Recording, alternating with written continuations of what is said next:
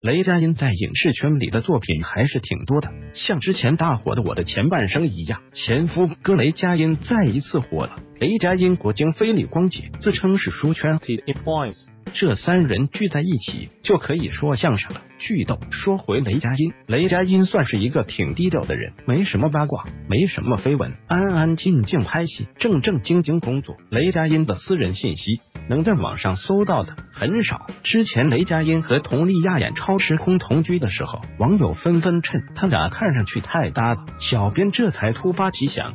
搜了下他的太太，这才知道他已经结婚多年，孩子都挺大的了。雷佳音和太太是大学同学，七年恋情长跑步入婚姻殿堂。雷佳音的太太狄旭飞也是一名演员，不过早已经息影多年，回归家庭，不在娱乐圈了。他的太太非常的温婉漂亮，网友都说。